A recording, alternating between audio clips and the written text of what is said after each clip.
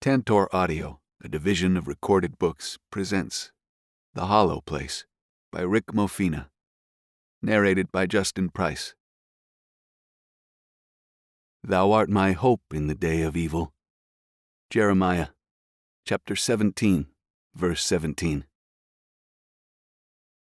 Chapter 1 Near the Cold Hollow Mountains, Vermont. The forest rose on both sides of the narrow gravel road like it was swallowing them, Sam Moore thought. We're lost, she said. We're not lost. Kevin gripped the wheel of the pickup. We need to get back to the interstate. We're not going back, Samantha. She shot him a look. Sam didn't like being called by her actual name. Kevin did it when he was angry, or to annoy her. Disheartened, she shook her head as stones popped against the truck's undercarriage. Spruce and fir towered over them, dimming the sunlight. Then, as if to underscore that they were traveling deeper into a remote section of the state, their GPS stopped working. Sam glanced at her phone and showed it to Kevin. Look, we can't even get service out here. Go back. Kevin held up a small folded page with notations in his neat script. I've got Leo's directions, and I sketched a map. This will take us to the Canadian border. Why are we going this way? I thought you were just taking a short detour and that we'd get back on the interstate. I told you, this way's better. Better? There are about a dozen other better ways to go. I don't like this one. There are no signs of civilization, not since that creepy looking gas station we passed a few miles back. We should have stopped for gas. We're good. She leaned over and looked at the dashboard. What are you doing? Kevin asked. Checking. When Leo loaned you his truck, he said the gas gauge sometimes didn't work. The needle indicated the fuel tank was three quarters full. See? Kevin said. So take it easy. Enjoy the scenery. Sam turned to the window, biting her bottom lip. They had been northbound on Interstate 91 and all was fine until Kevin mentioned something about a little known scenic back road to the border. But Sam wasn't paying attention. She had been half asleep, trying to read a Margaret Atwood novel on her phone, when somewhere between West Glover and Orleans, Kevin exited the freeway. They had headed west on Route 58. Sam saw few cars and only a sprinkling of buildings as the ribbon of paved highway took them into darkened forests. The route began to climb, then, at a fork, it transformed into a gravel road, dotted with brooks and bogs. A hand painted sign called one area Lucifer's Notch. Now they'd gone far enough on this back road for Sam's liking. I want you to turn around and get back on the interstate. I know what I'm doing. Seriously, why are we going this way? Kevin glanced at her, hesitant to answer. Tell me. Why are we going this way? All right. Leo dared me. Leo dared you? You know how he is with his conspiracy blogs and stuff. Well, he'd read online that this part of New England was supposedly haunted, cursed or something, and he wanted the video. Kevin nodded to the dashcam. Why didn't you tell me? I figured you'd think it was lame and not want to go. Sam stared at him. So it's because Leo dared you? Are you ten years old? I can't believe it. Look, the other reason is that Leo said if we went this way and got video for him, we wouldn't have to pay him the 500 for using his truck. Sam shook her head. Come on, Kevin said. This is just a little side route. Look around. This way's pretty, and it'll bring us to the border crossing into Canada at Richford, which isn't busy, and we'll save 500 bucks. I don't care about that. I should have had my uncle and aunt move me. Instead, you pull this time wasting adolescent prank. Would you just take a breath and calm down? Don't tell me to calm down. This is beyond stupid to pull this idiotic ghost crap for Leo. And given what you know I'm planning and what I'm going through, frankly, it's thoughtless and insulting, Kevin. Thoughtless and insulting. The accusation hung in the air as if Kevin could see the words. His face reddened and his grip tightened on the wheel.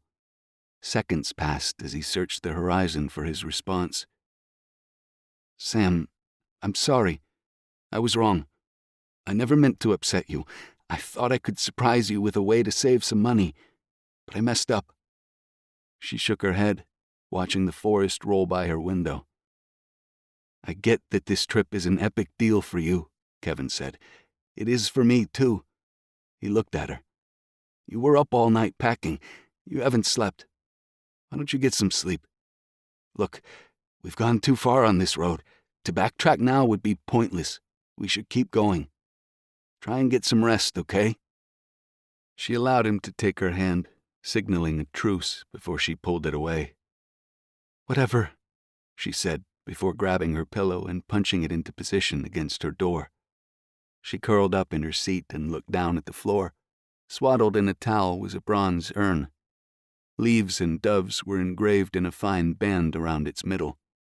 She blinked away tears. Kevin was right. She hadn't slept. She was exhausted, and yes, short tempered, because she was at a turning point in her life.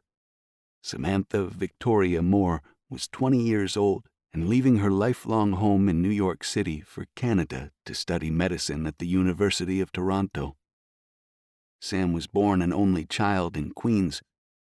Her father, a hospital equipment salesman, was killed when the taxi he was in crashed on the Major Deegan Expressway. Sam was not quite three at the time. When she thought of him, she struggled to see his face, no matter how many times she watched the videos her mom had recorded of her squealing with joy as her dad, laughing, tossed her over his head and caught her. She barely remembered him. Sam's mom, Elizabeth, a clerk who'd managed medical records, never remarried, and had raised Sam alone. Sam was in high school when her mom was diagnosed with cancer. It was on visits to see her in the hospital that Sam decided to become a doctor. She'd worked part time jobs and did well in school. She earned scholarships and was accepted at several universities. But after Sam graduated from high school, her mom's condition worsened. She delayed going to college to comfort her in her final days. When her mother passed, Sam had no family, except for an aunt and uncle in Toronto, where Sam's mother was born. The estate lawyer helped settle the insurance money, the sale of their small house in Corona, and debts. With some of the funds, Sam enrolled at the University of Toronto. The school had a stellar international reputation for cancer research, Sam's desired field, and tuition was a fraction of what it was at U.S. colleges. Sam was drawn to Toronto because of her mother's connection to the city. It was her way to honor her mother while dedicating her life to fighting cancer. A killer that we must kill was how Sam saw it. Preparing for her move, Sam got all the paperwork completed to live as a foreign student in Canada, even the documentation for transporting her mother's remains across the border. Repatriation, they called it. Sam's aunt and uncle had helped her find an apartment downtown near the campus. They had wanted to come to New York and help her, but Kevin had insisted that he would handle Sam's move. In her heart, Sam wanted to make the move alone with Kevin. Sam and Kevin Tatum were high school sweethearts, even though he was a few years older. Her mom had loved him. He's a good hearted boy. A keeper, Sam, her mother had said. And it was true. Kevin had been Sam's rock throughout all her pain with her mother's sickness, and he was a pretty smart guy, studying business admin at Queens College in Flushing, majoring in finance while working part time at a brokerage firm on data analysis and spreadsheet modeling. So, the day before she turned in the keys to the house, Kevin and his friend, Leo Barzy, helped her load Leo's pickup truck with her belongings. She remembered Leo telling them about the documents he'd put in the glove compartment with the vehicle registration in case there were questions about ownership at the border. He reminded them to keep an eye on the gas gauge and keep the portable gas can full. Then he checked the dash cam, hugged them, and wished them a safe trip before his brother picked him up. Looking at all her stuff tied down under a tarp, Sam had told Kevin, I feel like a latter day member of the Joad family. The next morning, they'd set out to drive to Canada through New England, planning to visit a school friend in Montreal before heading for Toronto. But so far, not once during the entire drive had either of them raised the underlying, unspoken fear that they each held.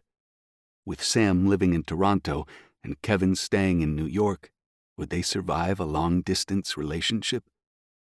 The future terrified Sam. Because you never know what's waiting for you, she thought as they traveled deeper into the darkening forests and she fell into much needed sleep. The pickup's engine sputtered for an instant, then resumed. Alarmed, Kevin scanned the instrument panel lights and the fuel gauge. What the? The gas needle had plunged and was now resting below the empty level. The engine stalled and died. Out of gas, the pickup rolled to a silent stop. No, no, no. Kevin swallowed hard, telling himself to relax and think. He turned to Sam, who was snoring softly, out cold. His mind raced. That gas station they'd passed couldn't be more than three or four miles back, or was it more? He wasn't sure. Then another thought stabbed him. I forgot to fill the emergency gas can in the back the last time we stopped. Damn it! He was struck by another fact. They hadn't encountered a single vehicle the entire time they'd been on this road. Kevin noticed the AAA decal on the lower corner of the windshield. Leo or his dad, whoever, was a member. He reached for his phone to call the number for emergency roadside assistance. His heart sank. His display told him he was in a no service area. He cursed again, then looked at Sam. She's going to kill me. He put his phone in his pocket and dragged his hands over his face. Okay, the solution is simple. Walk to the gas station. It couldn't take more than an hour. Maybe I'll get lucky and get a ride. He looked at Sam, still sound asleep. She needed sleep. If he woke her to their situation, she'd freak out. She'd walk with him, but she'd be upset about leaving her stuff, her mother's ashes. She'd carry the urn and likely scream at him all the way. He was already in hot water with her for coming this way. This is shaping up to be a disaster. I'm screwed no matter what I do. Okay, he had no choice. He'd walk to the gas station alone. If he left now and got a ride, he could, if all went well, be back before she woke. Who am I kidding? She'll wake before I get back. He'd leave her a note. Searching around, he found a pad and pen with logos from a comic book store in the driver's door storage compartment. When he'd finished writing, he folded the note so it protruded from one of the air vents in front of Sam. He was grateful that she always traveled with her door locked. Then, as quietly as possible, he slipped from the driver's seat, locked his door, and closed it without making a sound. He got the empty gas can from the bed of the truck and walked fast.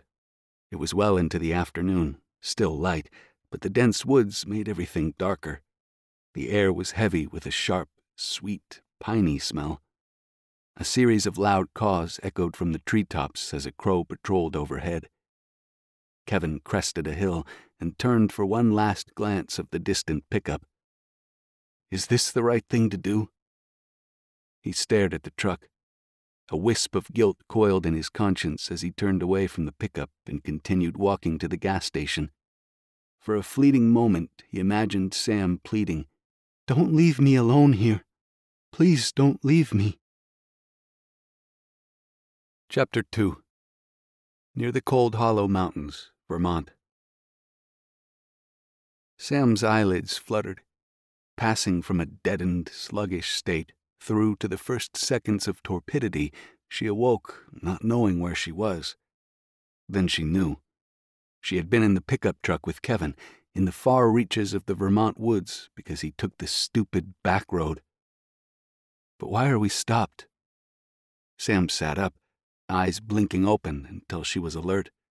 The cab was empty. Where's Kevin? What's going on? She tossed her pillow aside, opened her door, stepped out and looked around the thick forest on her side of the road, thinking maybe he'd gone in there to relieve himself.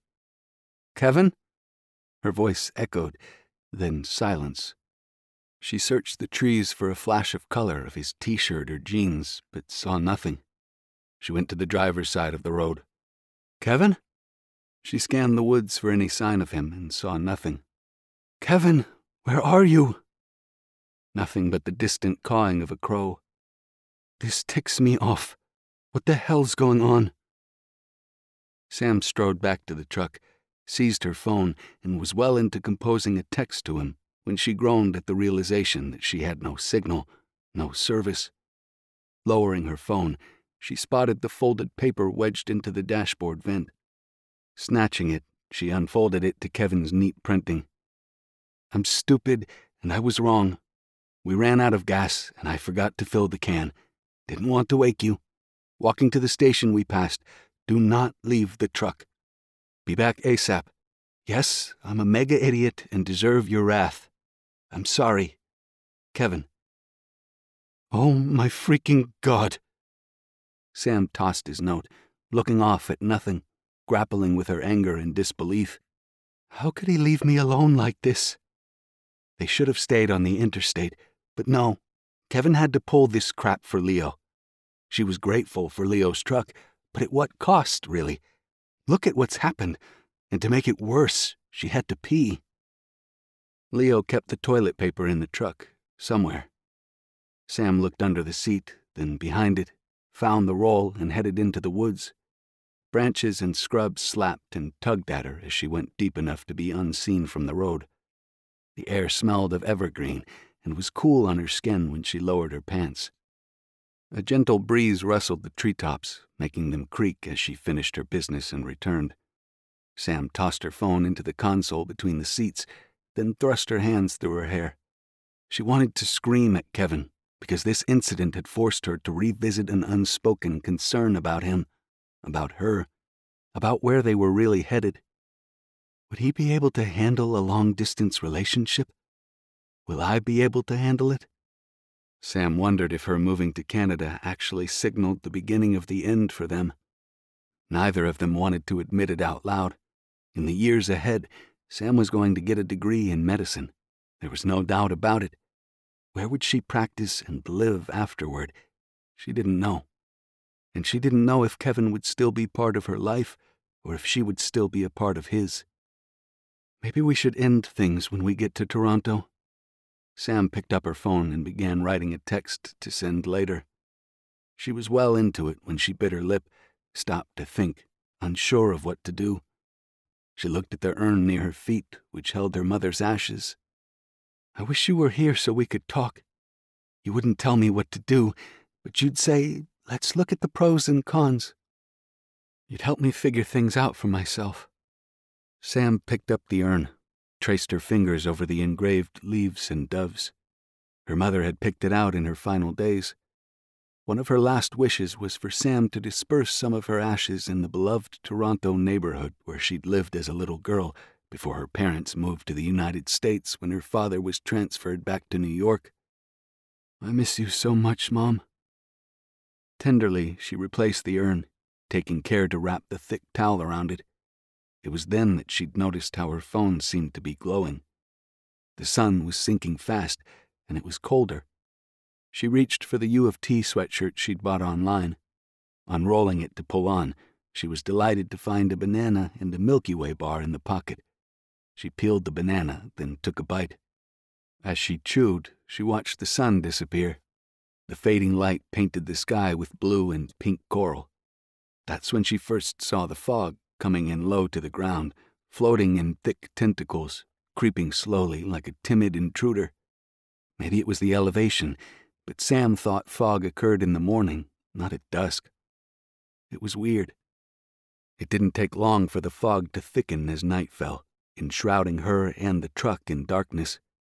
But she wasn't afraid. Sam was no princess. She'd grown up in Queens. There was nothing out here, nothing but nothing. The isolation was calming, not frightening, Sam told herself. Nothing out here compared with the things she'd witnessed and smelled on the streets of New York City, or the freaks, creeps, nutcases, and weirdos she'd seen on the subway. The light of her phone filled the cab when she checked the battery level. It was at 55%. She put it on the charger. She was thankful Kevin had left the keys, but she couldn't run the truck for heat. And to save the battery, she didn't put on the lights or radio. Tiny red and green pinpoint lights blinked and glowed on the charger, as well as the truck's alarm system and other things that ran directly off the battery. A flash caught her attention. Headlights in the side mirror cutting through the fog. Sam's heart lifted. That must be Kevin. But the headlights stopped some distance away. Why? That's strange. The lights were several car lengths away. Why is it hanging back there? Sam could hear the engine idling. She turned the key in the pickup's ignition and lowered her power window. She stuck out her arm, seeing it illuminated in the intense light beam as she waved. Nothing happened. No one got out of the vehicle. Was it a police car? Checking the license plate? Sam thought of approaching, but reconsidered. I don't know who that is, or what's up with them just sitting there. It was strange. If this was another prank of Kevin's, she was going to kill him.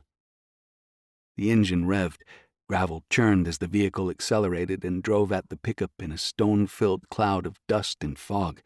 It veered around the truck so fast that Sam was unable to see what color the vehicle was, or even whether it was a car or truck. Red taillights appeared in the soupy gloom in front of the pickup, then submerged into the fog and darkness until they were gone. Sam's heart was beating faster. What the hell was that? Probably some local fools with nothing better to do. She shook her head at the darkness, cursing Kevin. What's taking him so long? Sam searched her side mirror, willing Kevin to appear with gas so they could get out of here, return to the interstate and civilization. She turned and froze. Light filled the pickup's cab. Through the windshield, Sam saw headlights shooting through the fog as a vehicle approached. Maybe it's a good Samaritan. But that hope died when the headlights stopped several car lengths away. Has to be the same jackass. The vehicle sat there. Sam checked to ensure her doors were locked. She swallowed, glancing at the silver chain bracelet with a love knot on her wrist. It was the last gift her mother had given her. Sam slipped it into her shoe as the strange vehicle's engine revved, its thrumming filling the night air. Its tires spat gravel as it accelerated, its headlights bearing down directly on Sam in the pickup. It headed straight for her, forcing her to shield her eyes, tense for the impact, and cry out before it swerved at the final second, showering the truck with pebbles and dust. You asshole! What do you want? Sam screamed. The taillights in her side mirror vanished into the night. Fighting back her tears, she watched for the vehicle to return. Her pulse pounded. She felt helpless as the minutes passed. Nothing happened. More time went by, maybe 20 minutes, with Sam eyeballing the side mirror. Her heart was still beating fast when she caught her breath. In the distance, through the fog, headlights. No. Please, no.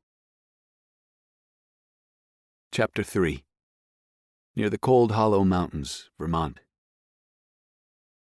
The headlights behind Sam drew closer. She held her breath, then double checked her locked doors. Gravel crunched as the vehicle swung around her, stopping parallel to Sam's truck. It was another pickup. From what she could tell in the murkiness, it appeared to be loaded with an old washer, fridge, tire rims, and assorted junk. When a face at the passenger side turned to her, she was relieved. Kevin. He was thanking two other people in the truck. It looked like a man and an older woman. Then he got out, and Sam lowered the driver's window. You can yell at me in a minute, Kevin said. He reached into the bed of the pickup for the gas can, then walked around their truck.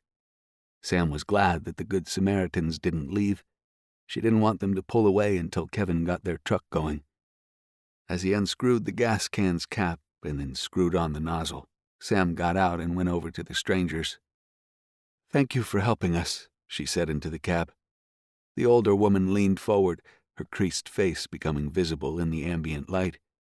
Happy to do it, dear. I'm Cass, and this is my son, Gibby.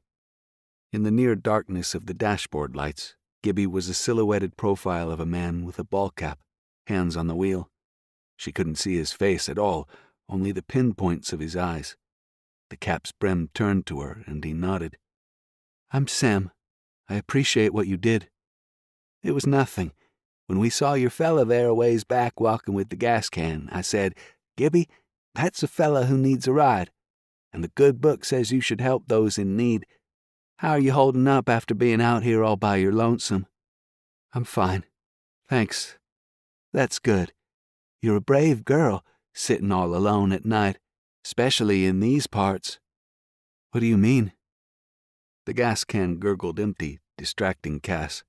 Kevin pulled out the nozzle, capped the tank and can, then stored the can. He stopped the conversation when he got behind the wheel and turned the ignition switch. The engine turned over a few times, then sputtered to life. There we go. All good. Kevin got out of the truck, leaving the motor running. Thanks again, Cass. Gibby. How much do I owe you for the ride? Nothing. Happy to help, Cass said. Let's go, son. Gibby shifted their idling pickup from park to drive. Wait, Sam said. Excuse me, Cass. What did you mean by especially in these parts? Cass looked at Sam for a moment. A sadness mixed with fear flitted across her face. She glanced at Kevin, then back to Sam. Like I was telling your beau here, you shouldn't be on this road. But why? It's best to get back on the interstate. Let's go, Gibby. You two take care now. After watching the taillights sink into the foggy night, Sam and Kevin climbed into their truck. Kevin turned it around, and they headed back the way they had come, driving without speaking. As they traveled, their headlights failed to penetrate the fog. Only a patch of illuminated, forest hemmed road was visible ahead. They'd gone about a mile when Kevin said, Okay, I fucked up. I'm sorry, so bring it on. Sam didn't respond. Stones ricocheted beneath the floorboard as they drove. Finally, Sam said, What did that woman mean by especially in these parts? I don't know. I think you do, and it's got something to do with this Leo crap. Look, all I know is I was walking back with the filled gas can, and they stopped and picked me up. She kept going on about living your life according to the Bible. I was just happy for the ride. Her son never spoke. That's it. Was it? Sam was uncertain if it was the disaster of running out of gas, the fact that their relationship had reached a turning point, or if Kevin was tired from the walk. Maybe it was something else entirely, but she sensed his mood, his attitude had shifted. He was serious, almost uneasy. Kevin, what do you think she meant? I don't know. Why? because while I was alone out there, a car or a truck, I couldn't tell what it was, came up behind me and just sat there, watching me. What? Was it a cop? No. Did people get out and talk to you? No. Sam related everything about the incident, ending by saying, It was so creepy. Sounds like local idiots trying to scare you. Kevin turned to her saw her cheeks glistening with tear tracks. Honey, I'm so sorry. This whole thing is my fault. How could you just leave me like that? I was wrong about everything. Wrong about taking this route. Everything. The whole time I was walking, I knew I was wrong to leave you, but you were already pissed at me, and you were going to be even more pissed no matter what I did. I was angry, too, at myself for getting us into this mess. I couldn't think straight. I thought I could get gas and be back fast and make things right, I was wrong again. But if you woke me, at least we'd be together. I didn't think. I just can't believe you'd do such a thing. Sam, we're both stressed and anxious about this move. That's what's really scaring me. Got me acting so stupid. I'm afraid of losing you. Well, you got a dumbass way of showing it. Yeah, you're right. I'm just. Look, this is what I propose. Near the exchange at the interstate, we saw a hamlet or village. I think it's called Spiritsburg. There's a motel there.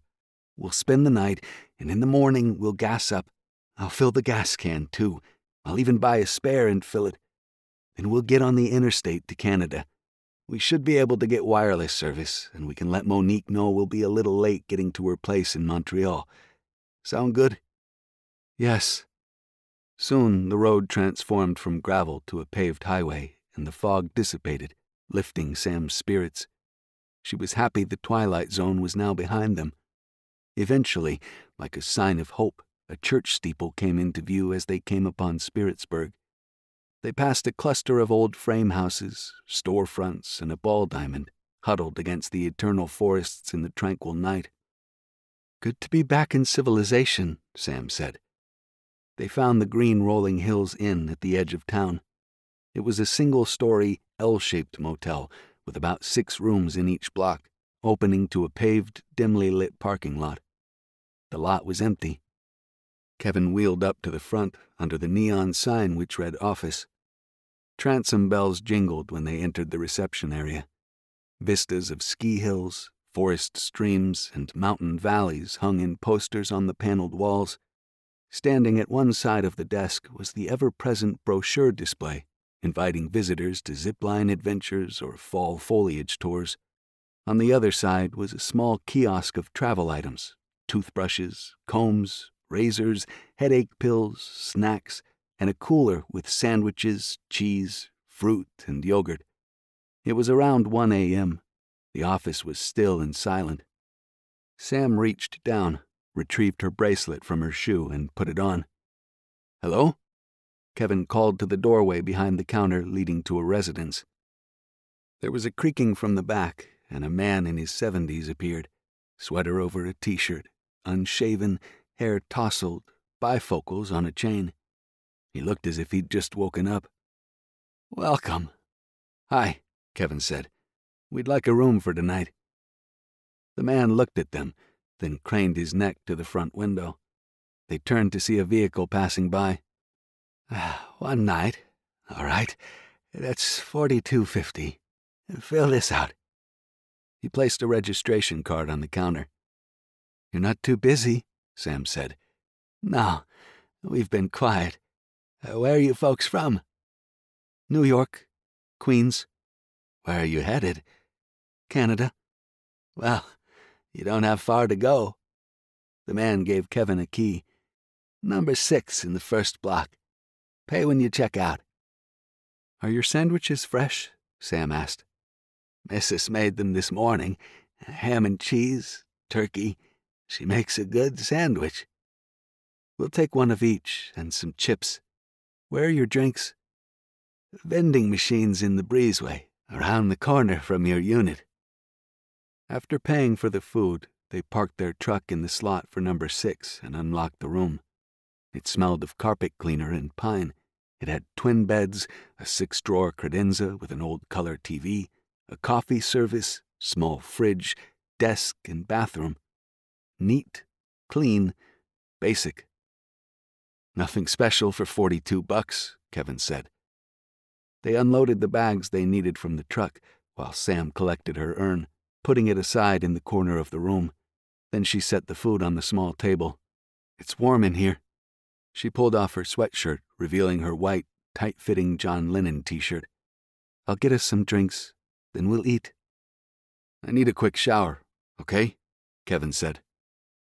Before Sam left, she put their phones on the charger happy they had service. She'd check messages later. She went through her wallet for money, took the room key, then left. The chirp of crickets serenaded her, and the crisp air was nice on her skin. She felt safe here, back in the world and back on track. Tomorrow they'd be in Canada. Although she was tired from all the stress, she felt much better. The soothing hum of the vending machine led her to the breezeway which opened to the rear lot of the motel. Sam stood before the machine, studying the flavor selection, inserted her money, pushed the button for Kevin's drink. He loved anything grape. The machine thunked, and she retrieved the cold can. Then she selected a Diet Cola for herself. As the machine's mechanism thudded and thunked, Sam turned her head. Clank, clank. Then a man said, Oh, cripes. Someone was in the back lot. Sam collected her drink, then, curious, she stepped through the breezeway to the back lot.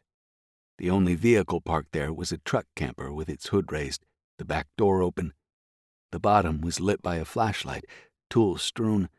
A man was under it on his back. She could not see his face, but from his position he turned and saw Sam. Darn it, he said, his voice coming up from under his truck. Miss, I'm sorry if I woke you. I'm having some trouble with my truck. You didn't wake us. Us, he said. I just see you there. We're out front around the side. I just came around for drinks. Oh, that's good. I pulled it back here so I wouldn't disturb anyone while I try to fix this thing. The starter post contacts are loose. They're hard to reach, and I can't hold the flashlight at the same time, what with my busted wrist and my wife the way she is.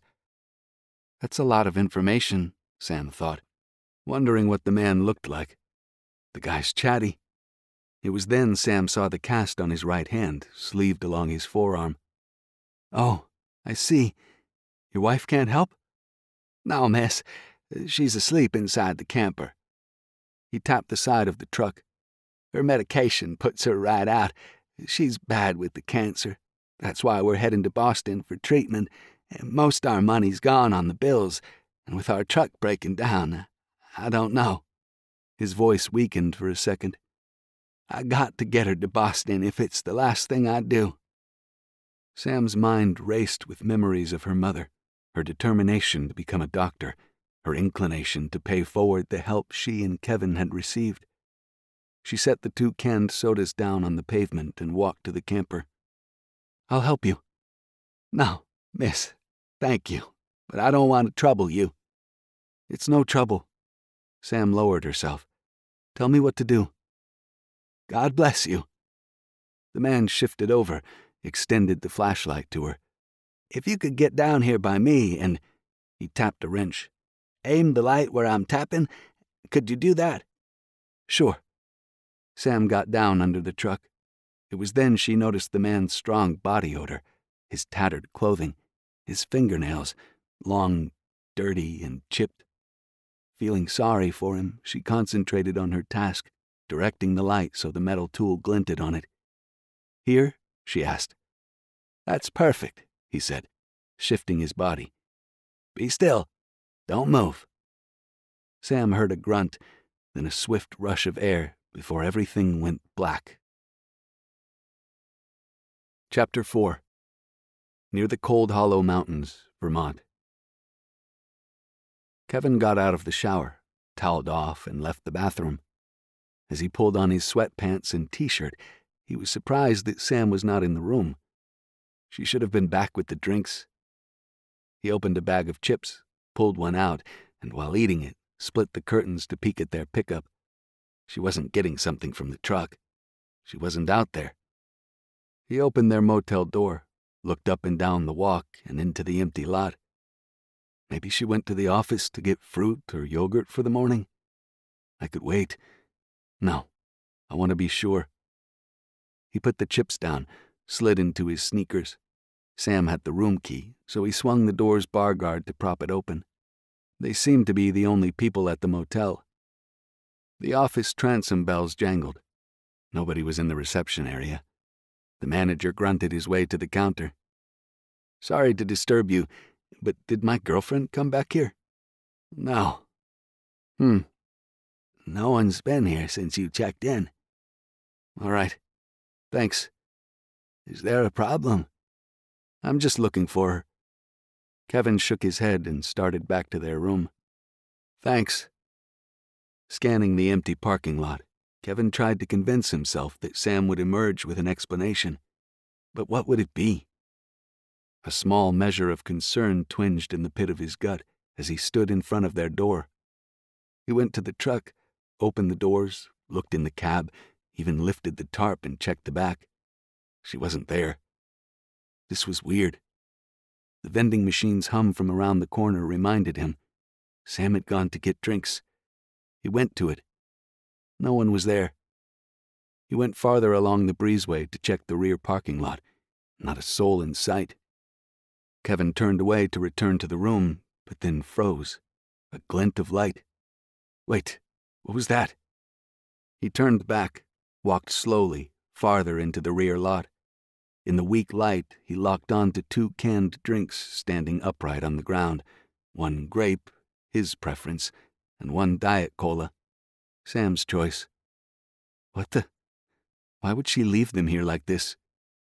Sam? Kevin searched the empty lot, swallowed hard, and called her name again. Fear slithered up his spine as he scanned the immediate area, the mountains, and the darkness, praying for answers. Austin Hardy, a deputy sheriff with Orleans County, took another hit of coffee and studied the road in front of him. Enjoying an incident free night shift in his zone, he was taking a personal inventory as he headed to Coventry to patrol the hillside town. He was 26 and single, with no one special in his life. He dated a bit, but for him, being gay in this part of the state meant he had to go to Burlington if he wanted a broader social life. He didn't mind. We hope you enjoyed this preview. To continue listening to this audiobook on Google Play Books, use the link in the video description.